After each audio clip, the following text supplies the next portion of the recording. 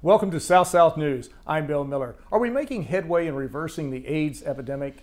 How many millions of people around the world have been adversely affected by this horrific disease? What are various groups such as the United Nations and universities such as Columbia University in the United States doing to help combat the AIDS problem? My guest today is going to bring us up to date on what Columbia is doing, and it's doing some major work.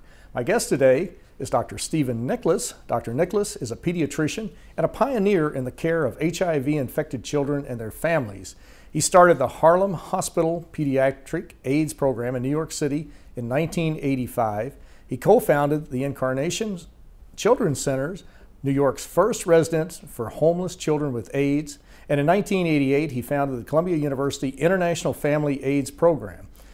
That was in 1999, I believe it was. Dr. Nicholas is currently the Dean for Admissions at the Columbia University College of Physicians and Surgeons, which is one of the top medical schools in the United States, where he is a professor of pediatrics and public health and also serves as the director of the Global Health Track for medical students.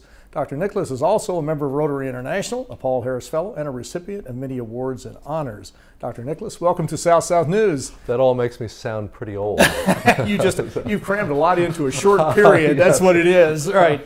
Well, let's we got a lot of topics to talk about. We're going to talk about your international activities in the Dominican Republic and elsewhere, but let's start with Harlem. Harlem is an area in New York City, the northern part of the city. Tell us about Harlem and what you did in that area uh, to help combat the AIDS epidemic. This is a, a, story that I think is important for people to understand because it really relates to whether there's hope for AIDS in the, in the broader world. Harlem, at the beginning of the epidemic of the early 1980s, had the highest rate of mother baby AIDS in the country, in the United States.